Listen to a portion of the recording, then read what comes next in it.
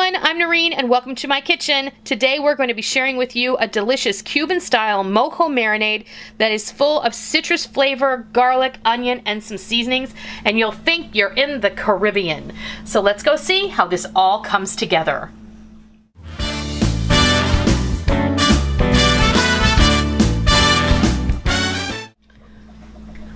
Right, we're going to share the ingredients that go into our Cuban style mojo sauce. Now this is a marinade, but mojo is really, it's an animal unto itself. I don't know a lot about it, but I do know that for a lot of years I bought mojo in a bottle. And when I realized what was in it, I realized I was being simply silly because this is so easy to make and 10 to 100 times more delicious than the stuff that you buy in the bottle. Don't get me wrong, the stuff in the bottle is really good, but this stuff that I'm going to show you how to make is really, really good, isn't it? I mean, this stuff is delicious. So I have a very good friend, uh, Liza, and she is Cuban well, she comes from Cuban descent, and I had her input on this recipe, and I kind of concocted it myself based on several factors that go into a regular mojo. Now, this is a citrus mojo, and generally mojo made in Cuba is going to contain bitter orange. Since I don't have access to bitter oranges, we're going to put one cup of orange juice, a half a cup of lime juice, and a half a cup of lemon juice. That's our base. Then we move on and we use a quarter of a cup of chopped garlic. Yes, a quarter of a cup of chopped garlic. So you can chop a whole lot of fresh garlic or you can do what I did and use the stuff in the jar that um, I always keep in my fridge. This is perfect for a marinade because it's super quick. You're also going to use one medium-sized sweet onion and you're going to dice it very, very fine, almost to the minced stage. Then we're gonna season this up. We're gonna use a half a teaspoon of cumin. This is optional, you don't have to use that.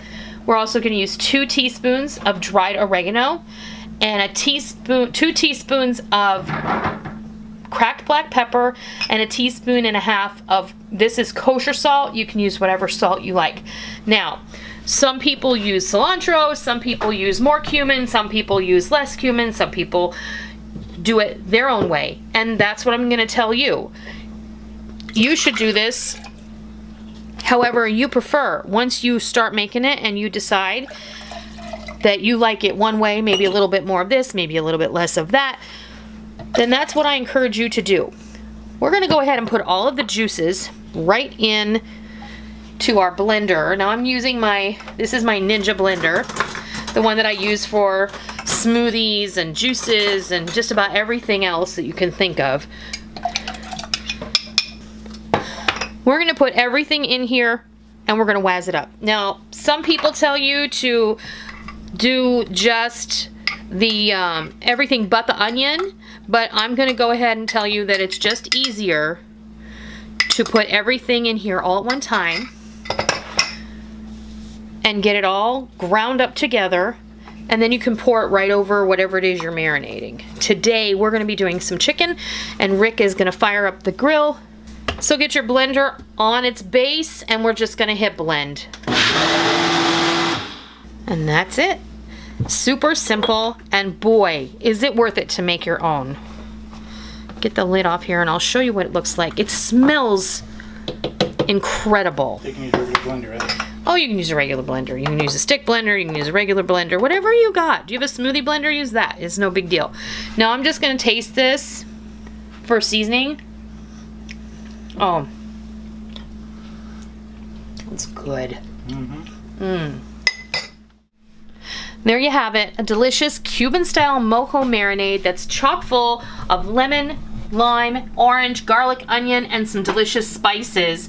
We threw this, um, we threw it, we put it with some chicken breasts and we let them sit for a couple of hours and we threw them on the grill until they were done to perfection. I have to tell you, when you'd marinate chicken, in this marinade, it comes out so tender, it's like butter.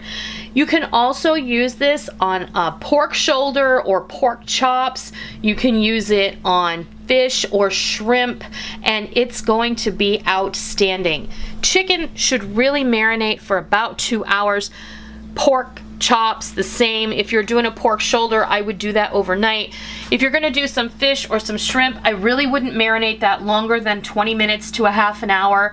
And otherwise, you're gonna actually cook the flesh of the fish or the shrimp. And you don't wanna do that. You don't want ceviche, uh, unless you want ceviche. But, you know, um, this is just a wonderful marinade that you can have uh, under your belt to make any time because most people I know will have these ingredients on hand. So I hope that you enjoyed learning how to make marinade. I thank you for stopping by my kitchen today so I could show you how.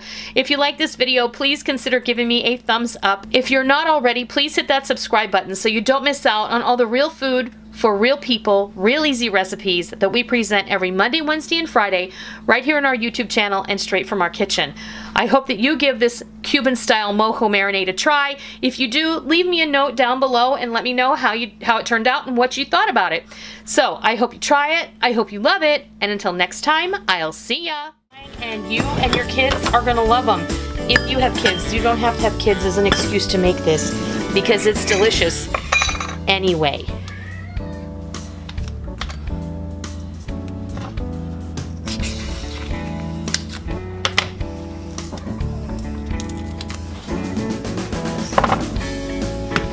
Okay, we're gonna add a little bit of cinnamon.